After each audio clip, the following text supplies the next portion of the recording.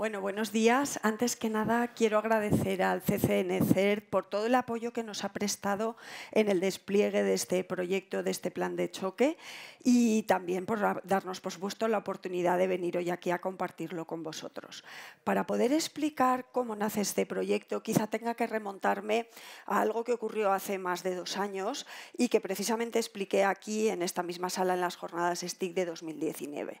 Ahí os explicaba que llevábamos mucho tiempo detectando la necesidad de hacer algo que mejorara de una forma notable la ciberseguridad de nuestras entidades locales. Eh, todos sabemos que son objetivos blandos, son muy vulnerables, tienen escaso personal, eh, pero claro, cualquier actuación que emprendiéramos desde CSIR-CV nos encontrábamos con el hándicap de que había que multiplicarla por 542 y de momento pues eh, poco podíamos hacer con los recursos que teníamos en ese momento. No fue entonces hasta el lanzamiento por parte del CCNCERT del proyecto del SOC virtual cuando sí que de verdad vimos la oportunidad de por lo menos empezar a hacer un proyecto piloto y de al menos sentar las bases de lo que hoy hemos venido a explicar aquí tuvo un giro drástico que ahora explicaré por qué. En aquel momento simplemente nos planteábamos, eh, junto con la Diputación de Valencia, que fue la que colaboró con nosotros en este proyecto piloto, pues hacer un piloto básicamente de detección. Ellos nos proporcionaron 10 ayuntamientos de distintos tamaños, con distintas aplicaciones, tecnologías, y que fueran representativos un poco de la realidad de la provincia, que luego pretendíamos hacer crecer y extrapolar, y empezamos pues a hacer un poco, a estudiar aquello que tenían significativo para la seguridad, para integrarlo nuestro SIEM, que habíamos puesto un Gloria pequeñito en una máquina aparte, que iba a estar operado por las mismas personas de CESIR, no teníamos recursos extra en aquel momento, y bueno, pues ir modelando los casos de uso y poco a poco ir eh, haciéndolo crecer. en esas estábamos, el proyecto llevaba pues bueno, su hoja de ruta, despacito, su poquito de retraso por la pandemia del COVID-19, cuando de repente se nos produjo pues lo que todos ya sabéis en la pasada primavera, una verdadera pandemia de ataques de ransom en las entidades locales. Empezamos por el Ayuntamiento de Castellón. No voy a añadir nada porque ya lo hicieron de una forma muy elocuente ayer tanto la alcaldesa de Castellón como Carmen Serrano, la jefa, la subdirectora de ciberseguridad de la Generalitat, y yo creo que quedó claro para todos que pocos escenarios somos capaces de imaginar en una administración que puedan rivalizar en horror con lo que aquí, allí se vivió tanto en el ayuntamiento como en los que estábamos aquí en entonces en CESIR. ¿A qué sí, José? Pero aquello no quedó ahí. enseguida pues, empezaron a infectarse más ayuntamientos, ayuntamiento de Xixón, ayuntamiento de Manises, Onil, La Eliana y algún otro que tuvo poca afectación. Estaba claro que, que no podíamos seguir así. Había que hacer algo con unas. Esto tuvo bastante más impacto en las estructuras de servicio de CESIR de lo que había tenido la otra pandemia, la del COVID, porque es que estábamos con unas dedicaciones de dos personas, cinco semanas o seis en, una, en un ayuntamiento, cuando se nos afectaba el siguiente. No podíamos esperar a que se terminara nuestro modelo artesanal, esa filigrana de detección que estábamos haciendo con el VSOC. Había que dar un cambio de estrategia, había que poner dinero para ello y había que hacerlo a toda velocidad, porque si no, no llegábamos a tiempo. Los que conozcáis bien la administración pública sabréis que quizá la velocidad no sea la principal virtud de nuestros mecanismos de contratación, pero afortunadamente eh, la ley de contratos eh, dispone de una figura que es eh, la del contrato de emergencia, que cuando esta está debidamente justificada, pues nos permitió en un tiempo récord, en menos de dos meses, contratar este plan y empezar a ponerlo en marcha. El plan se adjudicó en junio, a finales de junio de este año, con una duración, la máxima que prevé la ley, de un año a la empresa valenciana S2 Grupo, que es también la adjudicataria de CESIR CV. Y básicamente lo que pretendíamos al contratar este plan era, por un lado, desplegar las herramientas necesarias en los municipios para luchar contra el ransom, por otro, desplegar en aquellos que se considera necesario eh, sondas que pudieran permitirnos detectar lo antes posible situaciones de riesgo y por otro, pues preparar a los municipios de una forma básica de manera que si un ciberataque tenía lugar, pues el impacto en los servicios fuera mínimo, ¿vale? Nuestra comunidad, según el INE, tiene 5.057.000 habitantes que están distribuidos en 542 municipios y hemos diseñado las medidas a desplegar un poco en función del tamaño que tiene un poco que ver con, en función del riesgo. Así pues hemos dividido en cuatro bloques, eh, ayuntamientos micro, que son por lo menos de mil habitantes, los pequeños, los menores de 5.000, los medianos, que son los menores de 20.000, y luego los grandes, que consideramos los mayores de 20.000 habitantes. Además, a este proyecto también se añaden otras entidades locales, como pueden ser entidades locales menores o mancomunidades, que nos dan un total de 584 organismos. Y las medidas a desplegar, pues en resumen son en los muy, muy pequeños, bueno, hay que tener en cuenta que los micro y los pequeños siempre han estado muy tutelados en materia de TI por sus diputaciones provinciales que llevan un modelo de relación un poco diferente según cómo actúen cada una de las tres, pero básicamente en estos muy pequeños les estamos desplegando microclaudia solo en los servidores, les mandamos unas instrucciones para que hagan correctamente las copias de seguridad y las tengan a buen recaudo y también van a tener acceso perdón, a módulos de formación y concienciación pues en materia de LENS y genéricos de ciberseguridad. Además, a los pequeños también les hacemos una verificación trimestral de visibilidad externa con herramientas automáticas y bueno, también tendremos unos módulos para también para responsables TI del ayuntamiento en el caso de que los tengan. En los de tamaño medio, además del análisis de visibilidad externa con especial interés en servicios que permitan acceso remoto, les desplegamos un agente de gloria en todos los equipos y también la formación y concienciación. Y en los grandes, ese análisis eh, de visibilidad es mensual. Eh, también tenemos un servicio de vigilancia digital, que una parte de ese servicio, que es el que se presta con Trillion, ahora veremos que ya lo hemos extrapolado a todos, pero en 15 de ellos, los 15 mayores, ya tenemos 15 máquinas con la herramienta Carmen desplegada y les vamos a poner Carmen y Claudia, que casualmente coinciden con los 15 mayores de 50.000 que han salido en el anexo 5 de la orden esta de ayudas que ya se ha mencionado eh, varias veces a lo largo de estas jornadas. Eh, bueno, y también, por supuesto, contamos con el apoyo para declaración de, incidentes de especial impacto o relevancia del personal que ya teníamos en CCICV, del apoyo del CCNCER, del CERDS2 Grupo y el apoyo que tendremos que nos vendrá de la Red Nacional de SO, que ya nos anunciaron en la presentación del día pasado 27 de octubre que tanto nosotros como Andalucía CERT vamos a, estar, eh, vamos a formar parte de esta red en la que tenemos muchas esperanzas puestas. También lo dijo ayer eh, Javier en su ponencia, no solo por estar en CESIR.es, sino como CERT autonómico que tiene una alta convergencia con todas las herramientas del CCN. Eh, ¿Qué hemos hecho en este plan de choque? Pues lo primero, un equipo técnico a la altura del desafío que teníamos que poner en marcha. Tenemos un equipo técnico de un máximo de 17 personas con distintos perfiles y dedicaciones, no siempre están los 17 a la vez en el proyecto, se van incorporando según los momentos de despliegue, pero vamos a contar con expertos, pues expertos en el ENS y en el reglamento de protección de datos, un experto en productos, de, bueno, más de uno, de hecho estamos contando ahora con más de un experto en soporte de productos del CCN, bueno, tan experto como que en algunos casos eh, la herramienta la han hecho ellos, eh, con técnicos que a principio eran pues, técnicos de nivel 1 para las llamadas, pero enseguida han pasado a ser técnicos de monitorización para la defensa, con analistas de ciberseguridad especializados en defensa, con expertos de vigilancia digital y un analista de inteligencia que se incorporará recientemente y que también estuvo con nosotros en CESIR durante bastante tiempo, que tiene mucha experiencia. ¿Qué otras cosas hemos tenido que hacer? Pues lógicamente toda la infraestructura de TI que teníamos desplegada en CESIR CV hemos tenido que ampliarla porque ha sido un requisito básico en este proyecto que cualquier servicio que pusiéramos en marcha estuviera perfectamente encajado y alineado con las estructuras de servicio de CESIR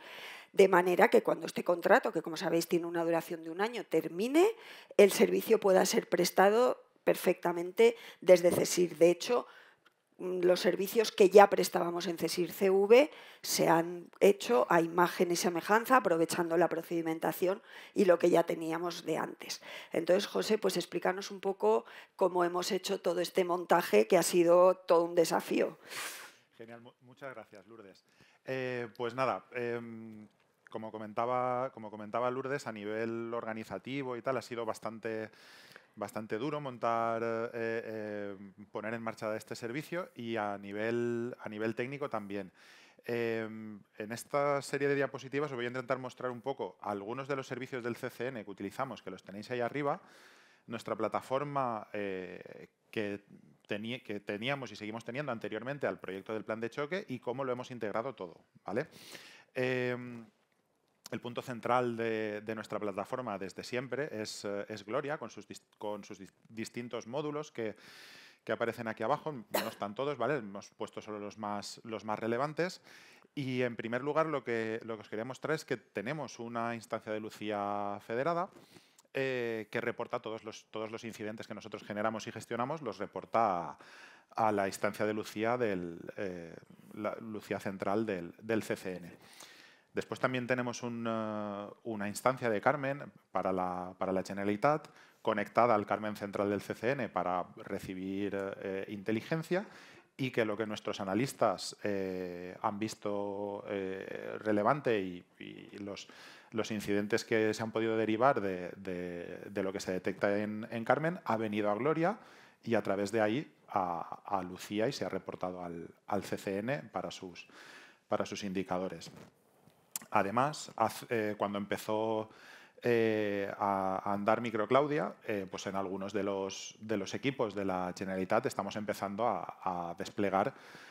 Microclaudia y siempre hemos, hemos, tirado contra la instancia de, Microclaudia del CCNCERT y nada, las, las que se derivaban de ahí pues también llegaban a nuestro Gloria y las gestionábamos. Para entidades locales eh, se, tuvo que coger y ampliar Gloria y se hizo un apartado específico para, tratar toda la información que venga de entidades locales. En este apartado veréis que falta un, que falta un dibujito, porque es el, dibujito de la consola de gestión, eh, porque sí, sí que,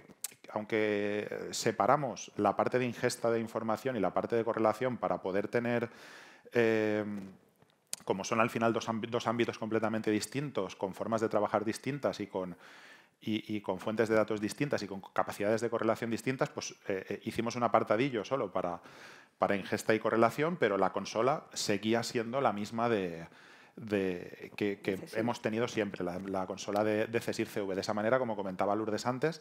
eh, pues en el momento en el que finalice el plan de choque y tenga que, pasar a servicio de, de CSIR-CV, pues los mismos, los mismos compañeros, los mismos eh, analistas van a poder eh, trabajar con ello. Bueno, trataremos de ampliarlo un poquito. Sí, sí, lo, ampliaremos, pero bueno, que será al final la, misma, la, misma, gente. Después otro de los, eh, de los, de los hitos de esta,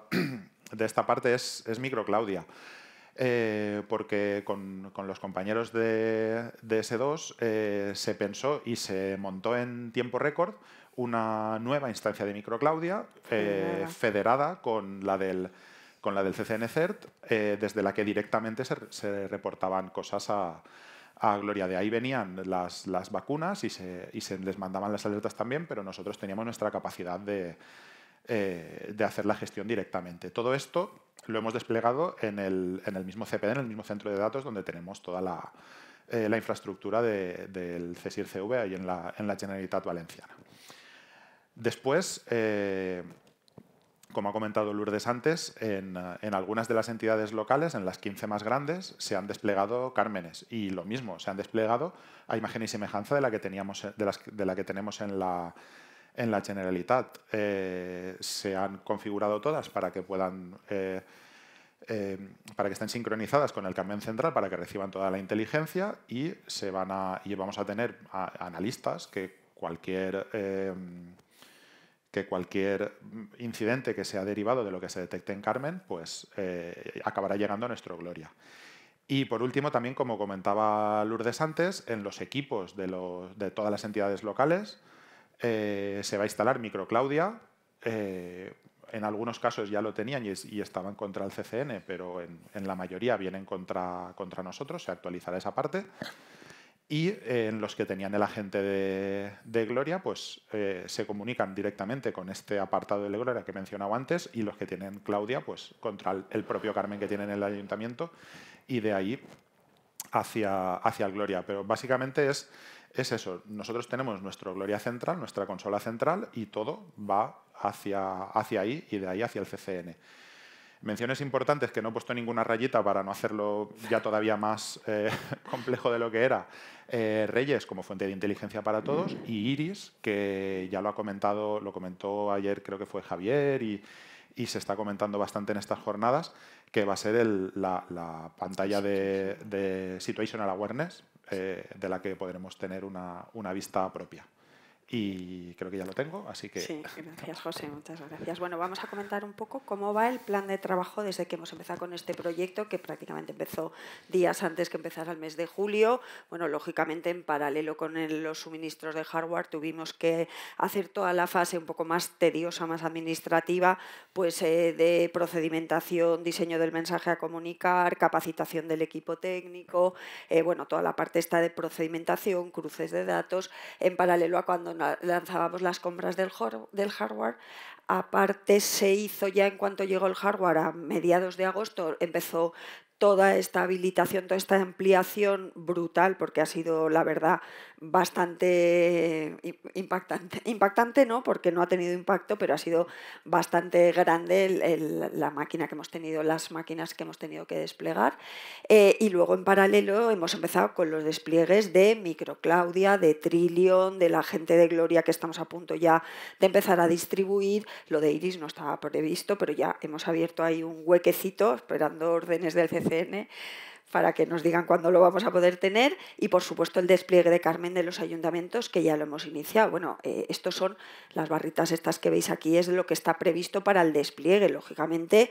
eh, no acaba ahí cada actuación ni mucho menos. La más importante es la de abajo, la de los servicios de vigilancia digital que entra en marcha en el primer momento que tenemos ya algo que monitorizar y llega hasta el final del proyecto y hasta el infinito y más allá porque es muy importante que luego se presten esos servicios de vigilancia. ¿Cuántas veces ha habido infecciones en organismos que han tenido digo, microclaudia en algunos equipos y que bueno, que había alertas que nadie estaba vigilando o nadie sabía interpretar. Es importantísimo contar con este servicio de vigilancia desde el primer momento en que empezamos con el despliegue. Lo más urgente, bueno, aquí esto me lo salto para que veáis que ya está desde mitad de agosto la instancia federada de microclaudia en marcha, lo de Gloria también y las 15 máquinas están ya adquiridas, preconfiguradas y ya estamos en contacto con los primeros ayuntamientos para instalársela. El plan de bueno, al principio el plan de trabajo, deciros simplemente que tuvimos que hacer casi 5.000 llamadas y correos eh, correos electrónicos para cruzar datos de lo que teníamos de las diputaciones, lo que teníamos en CESIR, en la Dirección General de Administración Local, todo el mundo nos aportó cosas, bueno, había que hacer una fase un poco de organizarse al principio. Y ahora, mm, desde hace poco, a los de más de 5.000 habitantes les hemos lanzado un cuestionario de medios TIC que es muy importante que nos cumplimenten, porque en la medida en que sepamos eh, que seamos capaces de conocer el parque de lo que tenemos en, todos los, en todas las entidades locales, seremos más capaces, primero, de prevenir, de lanzar alertas tempranas cuando haya alguna vulnerabilidad o alguna, en algún producto que, se, que tengamos allí, de conocer la profundidad del parque al que tenemos que llegar instalando microclaudia y de, bueno, ¿qué, qué les estamos pidiendo en este caso, José? Final les pedimos eh, un poco de todo, qué dispositivos tienen, antivirus, qué firewall tienen, si tienen algún otro sistema de seguridad o si tienen eh, eh, proxies de navegación y un poco todos los, todos los elementos, pues también sistemas operativos, tipos de dispositivos, pues como comentabas tú, para poder saber qué tienen, para al fin y al cabo protegerlos mejor. Claro. Claro, y luego también esto ha influido en los casos de uso, que bueno, también he de decir que los que ya teníamos estudiados del VSOC, del proyecto, digamos, embrión de todo esto, se han aprovechado y que es importante pues ir incorporando, sacar un poco factor común de qué productos y qué tecnologías tenemos para saber qué tenemos que incorporar a nuestros casos de uso y qué tenemos que correlar. Bueno, en el plan de trabajo, microclaudia, todo el mundo sabe ya lo que es, no lo vamos a explicar. Eh, ya tenemos la instancia completamente operativa desde primera semana de septiembre, hemos importado las vacunas, hemos hecho un cruce de datos de lo que ya estaba en la instancia del CCN de Microclaudia, que no nos corre ninguna prisa migrarlo. Nuestra prioridad eran aquellos que todavía no tenían nada. De hecho, con la versión 1.6 creo que es de Microclaudia, eh, va a ser completamente transparente para un organismo cuando finalicemos el despliegue, pasar todos los que están en la instancia del CCN a la nuestra. Ya les hemos enviado a todos las instrucciones de despliegue, las credenciales y ahora estamos con la fase de seguimiento de soporte. Para que os, os hagáis una idea, bueno, estos datos son de hace 10 días cuando entregué la ponencia, pero bueno, aquí arriba tenéis un poco cómo está configurada la comunidad valenciana en cuanto a organismos que tenemos, los totales y tal. En la fila del medio lo que tenemos es los organismos que están dados de alta por consola. Los que tenemos dados de alta ya en CESIR, que son, no lo veo, pero creo que son 350 y algo. Los que están en la consola del, CCN, 121, que estos estaban previamente. Y esto que pone alta CCN, Diputación de Castellón, están en la consola del CCN porque previamente la Diputación de Castellón ya los había dado de ahí de alta. Tenemos un indicador que es organismos en despliegue y consideramos que un organismo está en despliegue cuando ya por lo menos tiene un equipo donde ha instalado microclaudia. Claro, vemos ahí 402, parece que sean muchos, pero claro, hay que mm, con, que tengas un equipo en el ayuntamiento protegido, pues poco tienes. Hay que ver a qué profundidad hemos llegado con el despliegue y para eso hemos definido estos indicadores. Bueno, también decir que a fecha de hoy todavía no tenemos los datos de la dimensión de todos los ayuntamientos, ni muchísimo menos. Estamos pidiéndoselos, están contestándonos los cuestionarios, pero ahí en medio veis que, por ejemplo, en la provincia de Alicante tenemos del 50 que hoy ya es el 60% de organismos, conocemos los datos de profundidad del ayuntamiento. Entonces, claro, estas cifras cambian a diario, o sea, de repente el parque de equipos nos sube y nos baja el KPI provincia, que es el indicador de profundidad, es decir, de aquellos ayuntamientos cuyo parque conocemos, cuyo número de equipos sabemos, hasta en cuántos hemos llegado a desplegar Microclaudia. Lo ideal en las fases más finales de, este despliegue, que todavía estamos un poco a mitad, es que el parque de equipos sea lo más aproximado a la realidad y que el indicador de KPI de provincia, la profundidad, se acerque lo más posible al 100%. En el caso de Castellón, bueno, Castellón tiene la particularidad de que es una provincia que tiene un número muy alto, un porcentaje muy alto de ayuntamientos muy pequeños. Entonces, eh, digamos, el tutelaje que asume la, la Diputación es alto y por eso que os explicaba antes, el porcentaje de equipos que tenemos datos de dimensión también es grande y el porcentaje de equipos en que está desplegado por al menos un equipo con microclaudia también es alto. Luego en la provincia de Valencia pues eh, es un poco diferente. En estos momentos ya estamos con, conocemos casi el 80% de, de los datos de la dimensión de los equipos, pero todavía nos queda desplegar en profundidad. ¿vale? Entonces, luego también tenemos el servicio de Trillion, que nos lo está prestando el CCN, ya lo teníamos en la Generalitat, bueno, supongo que todos los conocéis, pero esto sirve para detectar eh, fugas de credenciales, eh, leaks de credenciales en cuentas de dominios que se monitorizan, ya le pedimos para la Generalitat, le dimos al CCN un montón de dominios a monitorizar y, y por la misma manera pues le pedimos si podíamos utilizar este servicio para las entidades locales. Y empezamos con los 300 dominios primeros que nos dieron, ahora ya estamos cerca de 400 y pico y a la primera nos saltaron cerca de 5.000 y pico alertas en 2.600 cuentas. Ya hemos notificado de las que pertenecen a cada organismo a cerca de 191 organismos. Bueno, no comento más respecto a Carmen, simplemente que ha tenido muy buena acogida entre los ayuntamientos grandes. Eh, bueno, y una cosa que no quería concluir sin terminar es que esto tiene grandes beneficios tanto para el CESIR, que ya teníamos en la Comunidad Valenciana, como el plan de choque, puesto que las sinergias entre ambos proyectos son muy grandes, aunque ya os hemos explicado que es una ingesta de información eh, independiente, la gestión va a ser unificada, se ha producido una mejora de capacidades gracias al proyecto de entidades locales que también afecta al, parque TI del CESIR y, bueno, eh, para, eh, para el proyecto el tener de base la experiencia y el conocimiento de un CER tan consolidado como CCN CERT y poder aprovecharnos de toda esa procedimentación, pues ha sido muy importante. Si nos paramos a analizar los beneficios que esto tiene para las entidades locales, pues bueno, es que, claro, hay que conocer un poco las entidades locales para saber, ya lo decía Javier el otro día en la ponencia ayer, lo complicado que les es, por ejemplo, el cumplimiento del ENS, o sea, no tienen medios, no tienen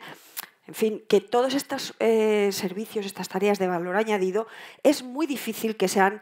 eh, emprendidas por un ayuntamiento grande que no es cuestión de dinero, es cuestión pues, de know-how y de, una serie de especializaciones que no es fácil que consigan por su cuenta. En cuanto a mejoras, por ejemplo, en cuanto al cumplimiento del ENS, es que te pones a mirar el anexo 2 y bueno, todo lo que tiene que ver con vigilancia del perímetro, mejora de arquitectura de seguridad, eh, notificación de incidentes, mejora de los procedimientos de copia, o sea, se me saldrían de la transparencia, pero muy importante mencionar lo importante que puede ser para estas entidades el contar con una red de contacto y confianza como la que ya teníamos en CESIR y por supuesto, potenciada y aumentada con nuestra pertenencia próxima a la red nacional de SOX. Otras muchas ventajas, y en este caso es para los grandes, eh, para los 15 que son mayores de 50.000 habitantes, es que, como ya se ha mencionado aquí, acaban de salir publicadas el 6 de noviembre la convocatoria de ayudas para la digitalización y modernización de las administraciones locales.